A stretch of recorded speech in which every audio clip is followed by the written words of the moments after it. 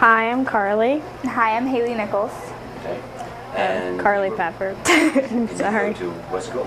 Murchison Middle School. Yeah. Oh. There's so much to say.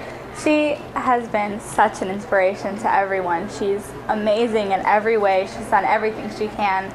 She has been gone above and beyond to make our year wonderful, and we're going to miss her so much. I can't trying believe not- she's leaving.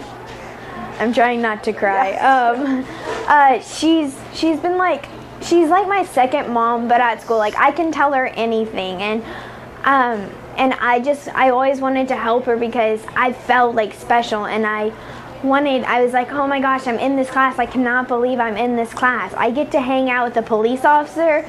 I feel the coolest kid on town, Right. and so and I just love her, and she she makes you feel like she, you're her kid and like a part of her family, and like JPA is your family, and all this stuff. And I mean, I loved and I learned so much stuff from her. Totally.